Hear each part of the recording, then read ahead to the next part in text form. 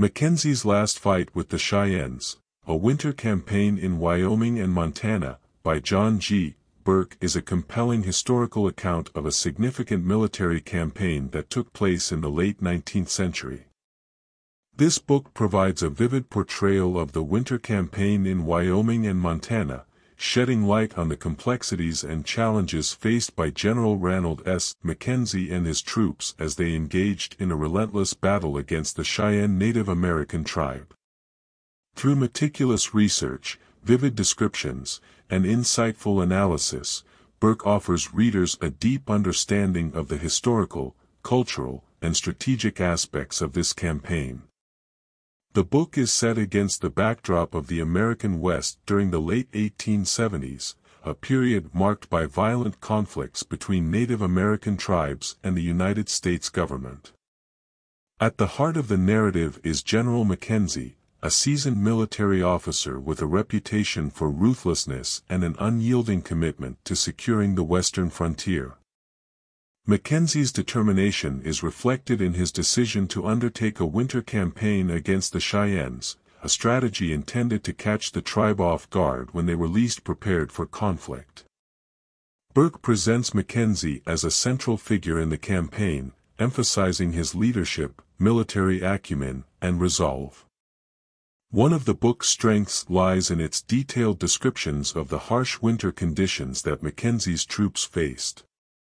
Bourke skillfully conveys the frigid temperatures, deep snow, and challenging terrain that characterized the winter campaign. Readers gain a profound appreciation for the extreme physical and logistical challenges that the soldiers encountered. Through Bourke's vivid prose, the bitter cold and the constant struggle for survival become palpable, immersing the reader in the brutal reality of winter warfare. Bourke also delves into the cultural and historical context of the conflict, offering insights into the Cheyenne tribe's way of life, their motivations, and their formidable warrior culture. The author paints a nuanced picture of the Cheyennes, dispelling the notion that they were simply savages, and instead, emphasizing their strong connection to the land and their desire to protect their traditional way of life. This cultural perspective adds depth to the narrative, allowing readers to understand the complex dynamics at play in this clash of civilizations. Furthermore, Bourke explores the strategic and tactical aspects of the campaign, providing a detailed account of Mackenzie's military decisions and the Cheyennes' responses. The author dissects the various skirmishes, ambushes, and confrontations that unfolded during the campaign, shedding light on the evolving nature of the conflict.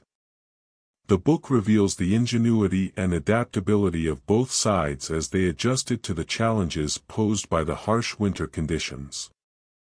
Throughout the narrative, Bourke demonstrates his commitment to presenting an unbiased view of the events. He acknowledges the brutality on both sides, making it clear that war, in any context, results in suffering and loss. This balanced approach adds depth to the book and allows readers to draw their own conclusions about the moral and ethical dimensions of the conflict. Mackenzie's last fight with the Cheyennes also addresses the broader historical and geopolitical context in which the campaign took place. The book discusses the government's policies toward Native American tribes and the increasing encroachment of settlers into traditional tribal lands.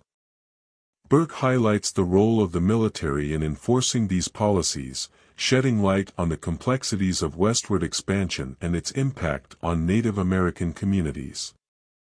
In conclusion, John G. Bourke's Mackenzie's Last Fight with the Cheyennes, a winter campaign in Wyoming and Montana, is a meticulously researched and vividly written historical account that offers readers a multifaceted understanding of a pivotal moment in the American West.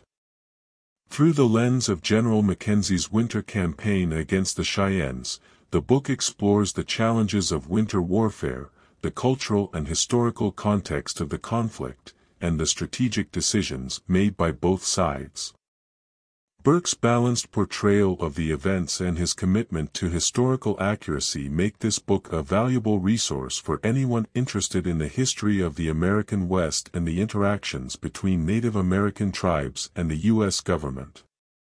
Overall, this book is a captivating exploration of a little-known chapter in American history and a testament to the resilience and determination of those who participated in this brutal winter campaign.